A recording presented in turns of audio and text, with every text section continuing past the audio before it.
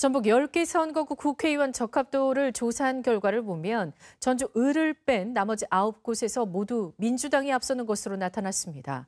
신당 창당 파급력의 기대에 미치지 못한다는 평가 속에 다시 민주당의 독주가 예상되는데요. 본선행을 결정짓는 민주당 경선 경쟁은 한층 더 뜨거워질 것으로 보입니다. 안태성 기자입니다.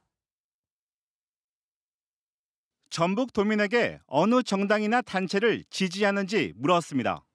민주당 74%, 국민의힘 5, 정의당 2, 진보당 2, 이준석 참여정당 3, 이낙연 민주당 탈당 의원 참여정당 4%입니다.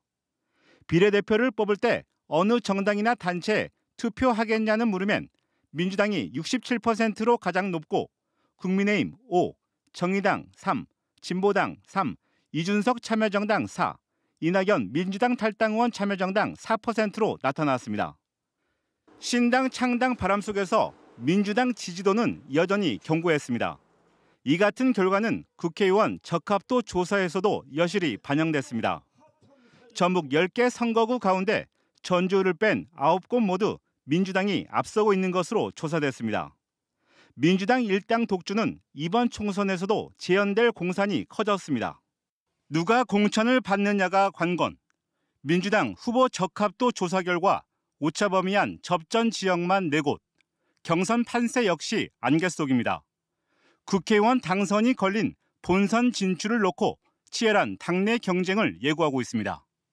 4월 총선에서 반드시 투표하겠다는 응답자는 83%, 투표하지 않겠다는 응답자는 3%로 나타났습니다.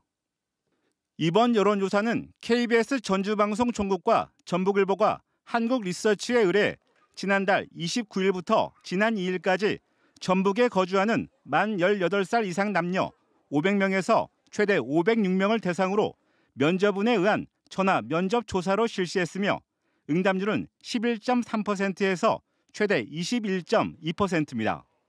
표본 오차는 무작위 추출을 전제할 경우 95% 신뢰 수준에서 최대 허용 플러스 마이너스 4.4%포인트입니다. 여론조사 전체 질문지는 중앙선거 여론조사 심의위원회 홈페이지를 통해 확인할 수 있습니다. KBS 뉴스 안태성입니다. 잠시 후 이슈K에서는 전북 10개 선거구를 대상으로 실시한 여론조사 결과를 바탕으로 전문가와 함께 22대 국회의원 선거 전북 판세를 짚어보겠습니다.